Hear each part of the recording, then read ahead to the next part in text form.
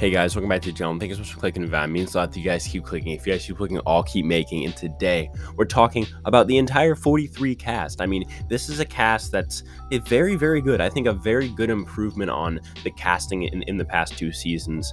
Uh, definitely promising for this new era. And although there's a bunch of things in this new era, namely the 26 days as well as the um, let's just put it this way the, the odd twists that we're, we're, seeing. I think that this cast shows promise for this new era but we're not really talking about entertainment value in this video. This is much more about gameplay who plays the best game on this cast. We are going to rank them from worst to best. Let's go.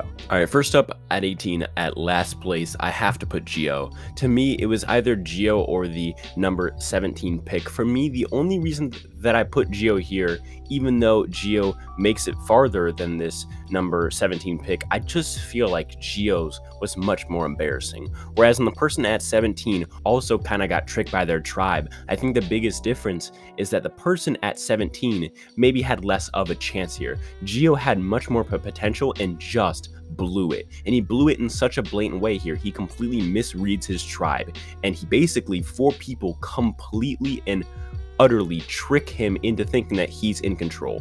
One of the most embarrassing ways to, to lose the game, to think that you have everyone on your tribe on your side, and then you just get completely blindsided. At 17 here, I have Justine for the exact same reasons. Again, just a very embarrassing blindside, a blindside that was so blatant and just based off such poor gameplay by her and such a poor read on her tribe.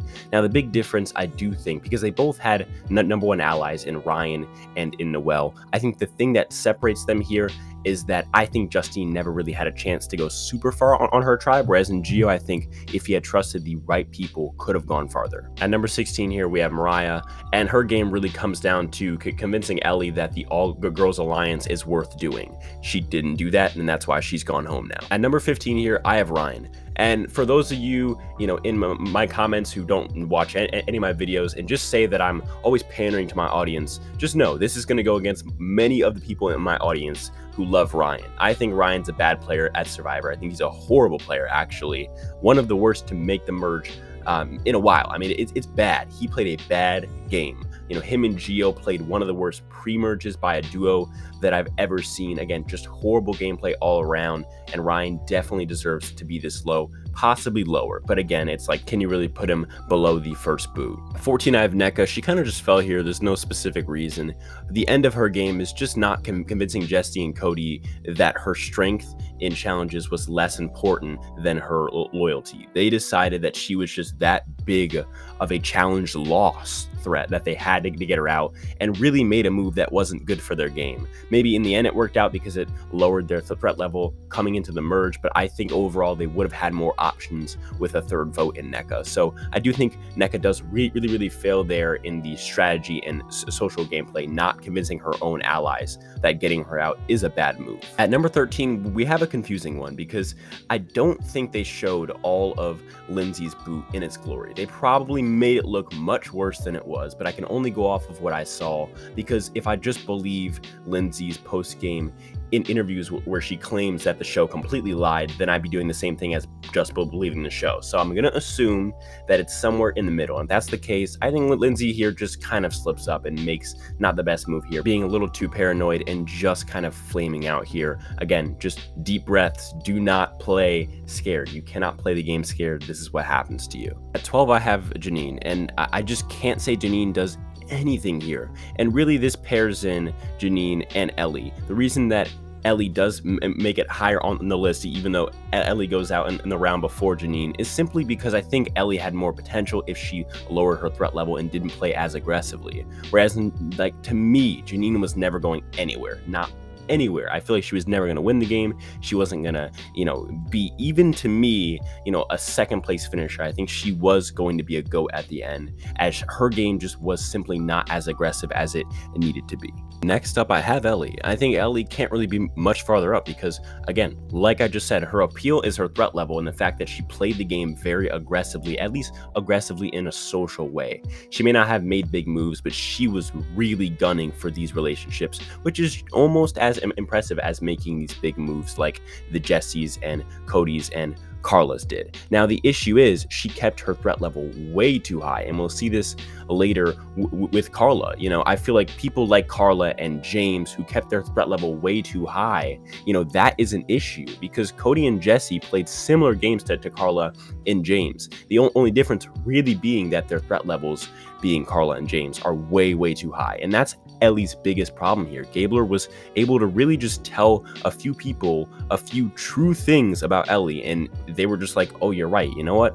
Elie's a giant threat. If your game can fall apart that fast, you have a serious problem. All right, I said, you know, earlier that I felt like the Ryan pick may make some people angry, but this one's gonna make people really angry. I have Owen at 10. I just don't see it. Like, I get that his edit's awesome. He had a great story, a great underdog, but if we're talking on paper here, he votes right two or three times in the entire season. And he goes to, I believe, over 10 tribals. That's a horrible record. One of the worst games on paper, socially and strategically. You know, he's left out of most votes here. And the only votes that he's in are the first boot vote, as well as the Cody blindside vote, where he kind of got saved by Jesse. And I may be missing one more. But I mean, come on. This is a horrible game on paper. At nine, I have Dwight. And honestly, the biggest argument here can you think of a giant Dwight move? I just I can't. He doesn't make the jury here.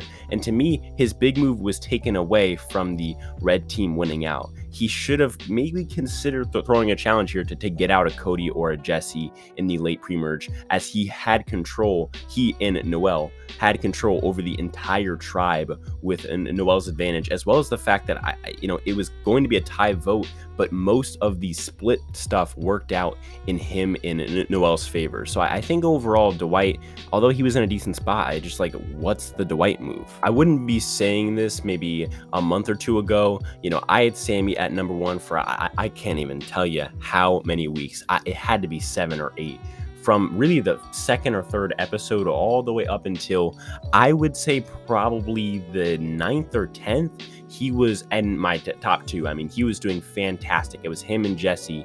And to me, he really just never made that move. And uh, towards the end, he just actively played like a pussy. He did not get in the numbers, you know, at, at the start of the merge, you know, after that big Elie blindside. And I think to me, he just never got the move. He kept talking about it and talking about it, but he never made the move. And eventually kind of just became Karla's puppet until she couldn't really use him anymore. If y'all thought the Ryan or the Sami pick was going to make people mad, at seven, I got Cassidy. I'm sorry. Her game is not some sort of masterclass, not, you know, like a, some Parvati game.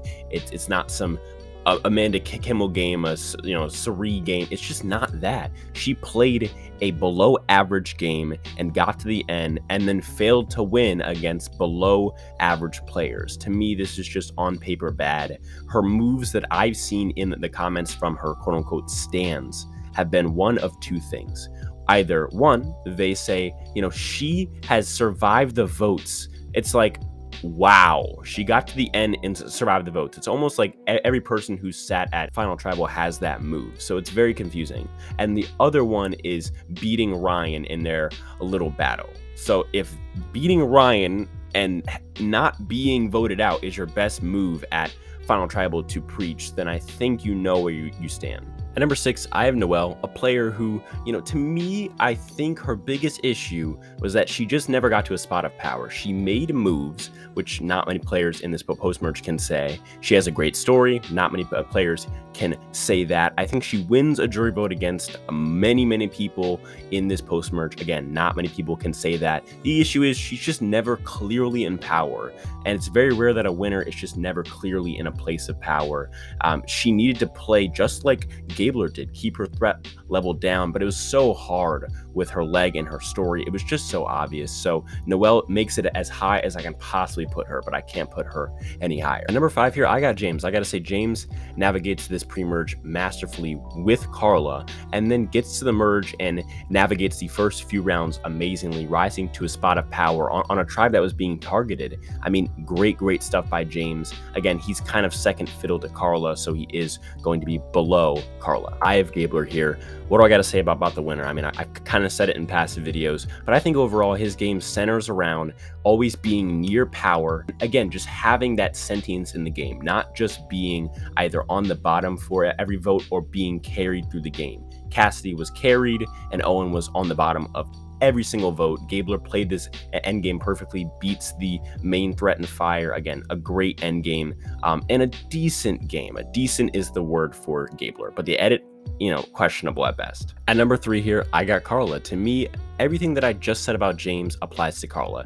Domination in the pre-merge on her tribe, domination for the start of the merge as far as the social relationships and the strategy goes alongside Jesse and Cody. The difference is, I think to me, Jesse and Cody kept their threat levels down while having a bit more control than Karla and James. But the reason that she does make it over James here is because she's more of a threat and is able to at least keep herself in the game. I, I won't say she manages her threat level of it very well, but she stays in the game here being the bigger target. Okay, at two, I have Cody. Now, the reason Cody is below Jesse is because Jesse plays the game better, has more control over the moves, and he's even admitted himself that Jesse was the better player and made more decisions in the game, although Cody's input was not taken lightly. And that's really what keeps him at two and not, you know, falling back as being more of kind of a goat to Jesse is he makes the, the decisions here. He's not just Jet Jesse's goat here.